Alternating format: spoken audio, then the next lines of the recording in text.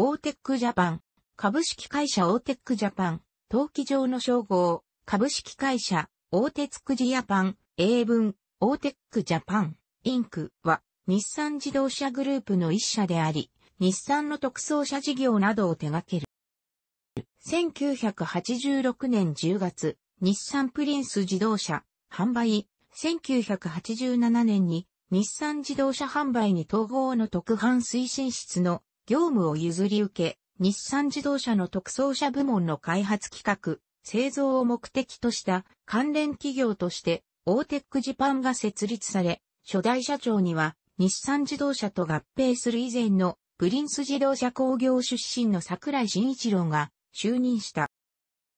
初代社長に就任した桜井は長年にわたってスカイラインの開発に携わった人物である。旧プリンス時代に発売されたスカイラインの初代から企画開発に携わり、2代目 S50 型では開発責任者、開発主幹となり、日産と合併した後に発売された3代目 C10 型箱スカ、4代目 C110 型ケンメリ、5代目 C210 型ジャパン、6代目 R30 型ニューマン、7代目 R31 型セブンス、セブンスと連続して開発責任者、開発主幹を務めたが、7代目の企画開発が終盤に差し掛かった1984年に突然、病に倒れて入院することなり、以後のスカイラインの開発責任者、開発主幹は、旧プリンス時代からの後輩であり一番弟子の伊藤、治霊に後継者として任せることとなった。後に、無事に手術を終えて退院し復職した桜井は、長年携わっていたスカイラインの開発責任者、開発士官には復職せず、日産の新設部署である技術車両設計部の部長に就任してパイクカーの企画開発に携わっていたが、桜井がスカイラインを人気車種に育て上げた功績と、桜井自身が旧プリンス時代からの商品企画に継承されていた妥協しない技術者魂の職人気質であること、旧プリンスと比べて、規模の大きい日産では桜井が理想とする仕事がなかなかしがたい環境であったことで、こうした桜井の良き理解者でもあった。当時の久米豊日産社長の計らいにより、1986年10月、大手を食うイコール、オーテックとの久米社長のダジャレから考案され、 Automobile Technology in Japan を略称した特装車部門の新会社として設立されたオーテックジャパン初代社長に就任して1987年5月に待望の社屋が竣工した。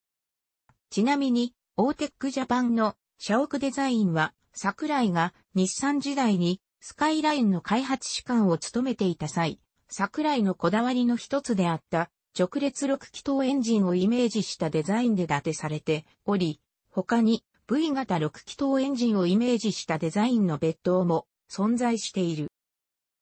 桜井が初代社長として就任したオーテックジャパンには、桜井が突然病に倒れて入院した後を急遽、引き継いで、スカイラインの R31 型、セブンス、セブンスと R32 型の開発責任者、開発主管務め、R32 型では C110 型、ケンメリ以来17年ぶりに GTR を復活させた、旧プリンス出身の伊藤修令が常務取締役、現在は顧問に就任し、元プリンスワークスドライバーの古平勝などの旧プリンス出身者や旧プリンス時代から継承されている日産の企画開発部門、関連各社出身者で構成される通称桜井学校、桜井ファミリーと称される旧プリンス入社組を含む日産社や1979年10月から1984年10月まで、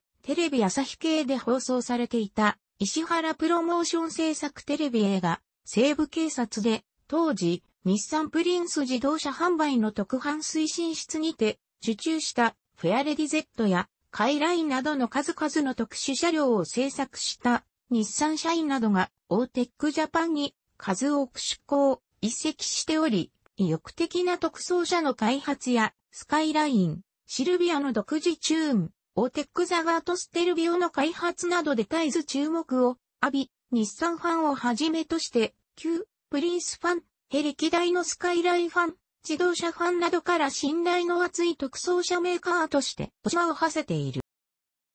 なお、オーテックジャパンの設立の準備段階から関わり、初代社長を務めていた桜井は、1995年にオーテックジャパンから独立して S&S エンジニアリングを設立しており、主に旧車のレストアやボディ補強材やディーゼルエンジンの排出ガス浄化装置の開発、販売を主な業務とし、桜井がオーテックジャパンに在籍していた時代と同様、信頼の厚いメーカーとして名を馳せており、現在に至っている。2016年4月1日付の人事異動で、それまで務めた宮谷昭一に代わり、日産自動車副社長を務めた片桐隆夫が代表取締役兼 CEO に就任した。なお、片桐は前任者の宮谷同様、日産モータースポーツインターナショナル、通称ニスモの代表取締役兼 CEO も兼任する。2017年4月1日の組織変更で、新たにニスモカーズ事業部が新設された。ニスモロードカー車種の企画開発、マーケティングを当該事業部に集約したものであり、今後のニスモロードカーの全世界戦略の拠点とな